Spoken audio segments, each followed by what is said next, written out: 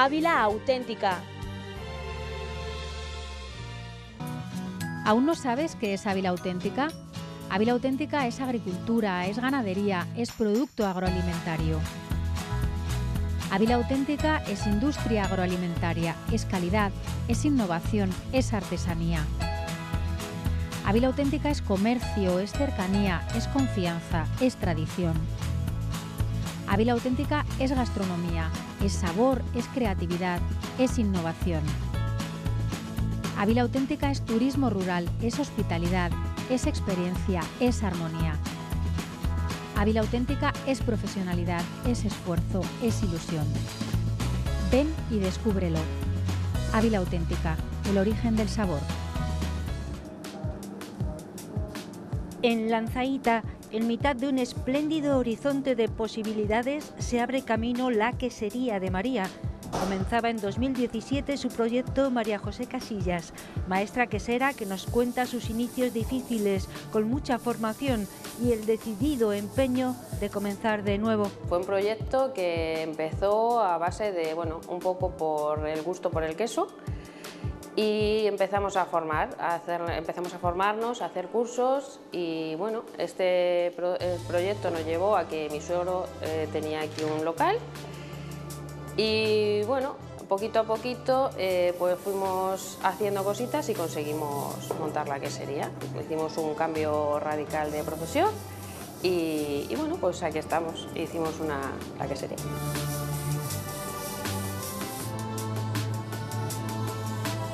De la nada, del gusto por el queso, de, bueno, pues información, ir haciendo cursos, pues típicos cursos que se van haciendo así, bueno, pues porque te gusta. Y al final hicimos ya cursos importantes, interesantes, y lo que nos ha llevado hasta aquí. Fue un poco ensayo-error, porque por muchos cursos que hagas, eh, lo que te hace es el estar trabajando aquí. Entonces eh, nosotros empezamos a, comprar leche eh, y bueno, pues vas viendo eh, que lo que te ponen en los libros lo tienes que llevar a la práctica, pero claro, la leche es un producto vivo, tiene sus propias bacterias, tiene, tiene vida y todo te cambia. Entonces, pues fue mucho el pues eso, ensayo-error, ensayo-error hasta que consigues hacer un queso en condiciones saber lo que es los quesos, o sea, entender los quesos, porque los quesos hablan, o sea, mm, hablan, o sea, cada uno te dice, tengo humedad, necesito que me seques, necesito, o sea, entenderlos y cuesta mucho. Y se volcaron en cuerpo y alma para conseguir unos quesos de cabra únicos, quesos con raíz local, elaboración completamente artesanal, amor a la tierra y creencia en las posibilidades que ésta les da. En principio eh, teníamos, empezamos eh, por diferenciarnos un poco en la zona, porque aquí hay mucha leche de cabra, eh, intentamos comprar leche, o sea, hacíamos quesos de oveja, de oveja y de cabra y oveja. Pero ¿qué pasa? Que el problema es que en esta zona no hay nada de leche de oveja, con lo cual hemos desistido y ahora hacemos solo quesos exclusivamente de cabra. Se lo compramos a dos ganaderos, eh, de aquí de, Casa Vieja, que son de aquí de, la zona, de aquí de Casa Vieja, y de la zona de Buenaventura, que está lindando aquí con Toledo.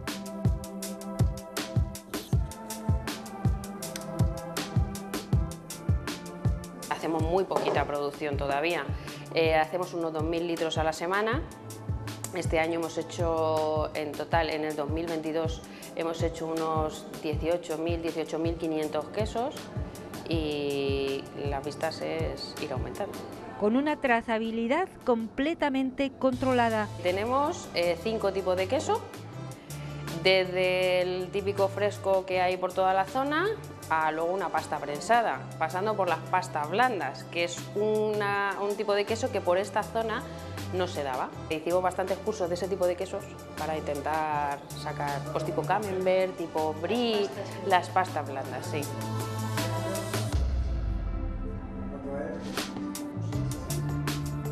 Delante de la cuba de 400 litros, María José nos explica el proceso de elaboración totalmente manual. Lo primero y lo esencial es la recogida, que vamos con un camión, vamos con un camión a, por la leche, luego eh, la dejamos refrigerada una noche, eh, y luego al día siguiente muy temprano, sobre las 5 así, eh, venimos, hecho, la leche, pasteurizamos en Cuba, no tenemos pasteurizador, pasteurizamos en Cuba, entonces la pasteurización es muy lenta, ¿vale? No rompes eh, tanto la cadena de grasa, de proteína, y entonces consigues unas texturas eh, bastante más cremosas, o sea, no es rápido. Luego de ahí, una vez pasteurizado, dependiendo del queso que se haga, se echan fermentos, eh, por ejemplo, el queso fresco no lleva fermento, eh, no lleva nada, pero el resto de los quesos lleva cada uno lleva su tipo de fermento para conseguir ese tipo de queso. Se deja premadurar unos 20 minutitos, se echa el cuajo y a esperar hasta que la, tienes un, un gel sólido para, para poder cortar aproximadamente, dependiendo de cada queso, pero está entre una hora, hora y media, ¿vale? Cada uno tiene su proceso. Y una vez, una vez cortado, o sea, una vez eh, hecho el gel, se procede al cortado de la cuajada. ¿Qué tenemos que conseguir con eso? Ir haciendo cuadraditos cada vez más pequeñitos para conseguir que esa cuajada suelte el suero, que es lo que tenemos ahora mismo aquí. Tenemos una cuajada eh, con ya varios cortes hechos. Entonces, eh, eh, se produce esto, se produce este gel, ya pasa a ser como daditos para conseguir que la cuajada vaya soltando el suero. El fin es sacar el máximo suero de la cuajada posible, porque una cuajada con, con mucho suero en el grano nos da problemas en el queso. Una pasta blanda, que es como lo que vamos a hacer hoy, necesita menos cortes, pero una pasta prensada necesita más cortes porque necesitas un, necesitas un grano más pequeñito. Una vez que ya tenemos esto, procedemos a precalentar un poquito la cuajada para subirla a unos 36-38 grados. Y ya eh, salamos, porque salamos en Cuba, y una vez que estamos, hemos salado en Cuba, ya dejamos reposar un poquito y pasamos al moldeo. Y ahí dejamos a esta maestra quesera, afanada en el moldeo de estos quesos, peculiares también los nombres y formas de cada uno de ellos, el fresco, el queso conde, el catacaldo, domingo de ramos o campante, hecho con leche cruda de cabra y que ha obtenido la medalla de plata del World Cheese Award celebrado en Gales. El año 2022 ha sido un año de, muchos retos para nosotros. Eh, cuando, cuando decidimos dar todo este cambio en 2021, pues nos enfrentamos pues, a un escenario post pandemia en donde bueno, el consumo estaba muy paralizado. ¿no? Y lo cierto es que eh, nosotros hemos encontrado que hay un consumidor que valora muchísimo eh, el producto artesano. ¿no?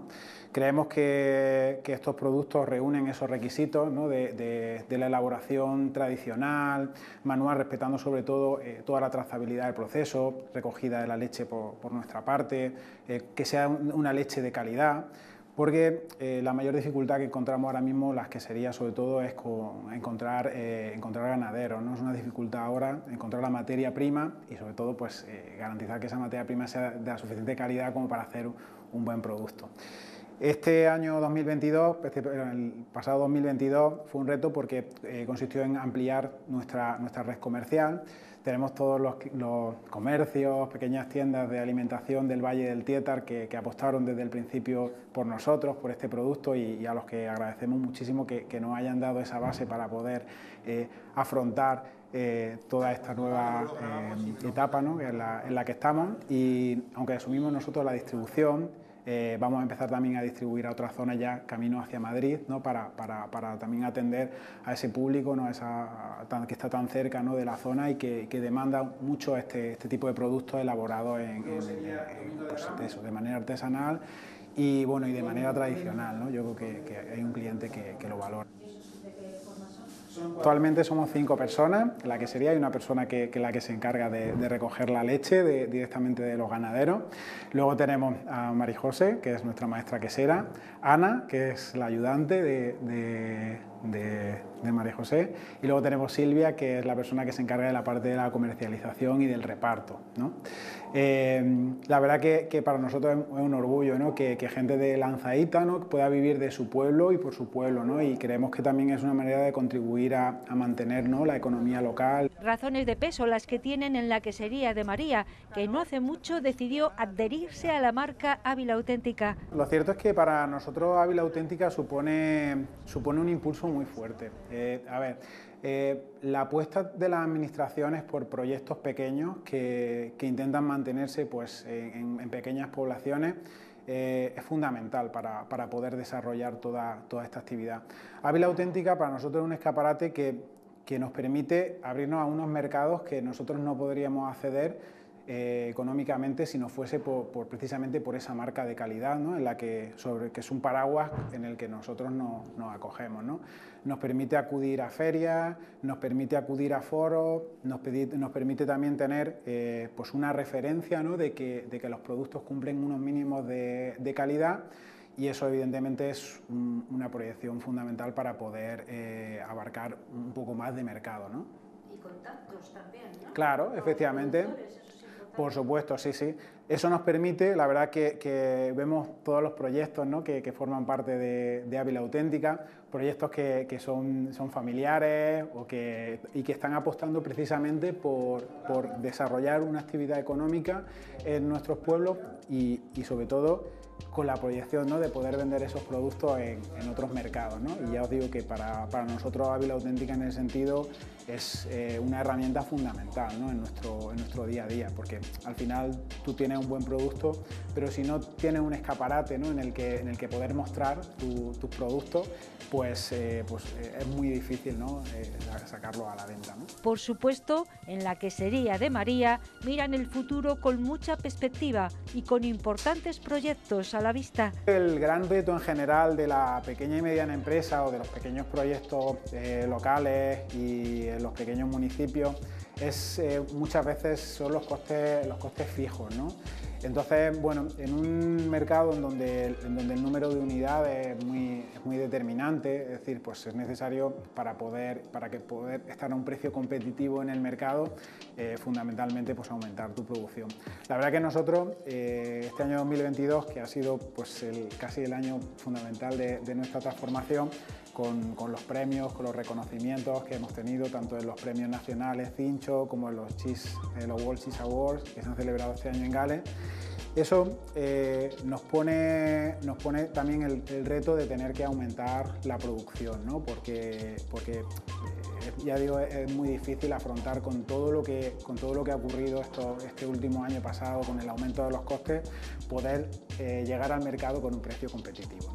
La idea, la idea este año será eh, hacer una ampliación de, las instalaciones, de la, quesería y, la idea es, bueno, pues en unos 3-4 años estar elaborando en torno a unos 100.000 litros, que, bueno, pues supondría el año que viene duplicar, al siguiente año eh, triplicar la producción y, entonces bueno, poder, poder, poder, seguir generando empleo, poder seguir eh, adelante con el proyecto y, sobre todo ya pues consolidarlo. ¿no?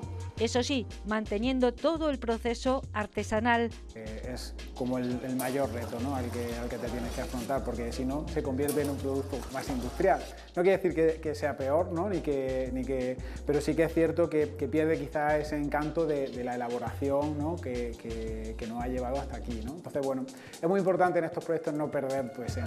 Así, sus quesos únicos, exclusivos, casi como si se tratara de verdaderas obras de arte, seguirán conservando sus inigualables sabores, sus aromas, sus texturas, su elaboración artesanal, la riqueza de lo propio, esa esencia que solo posee lo auténtico, porque auténtica es la quesería de María en Lanzaíta.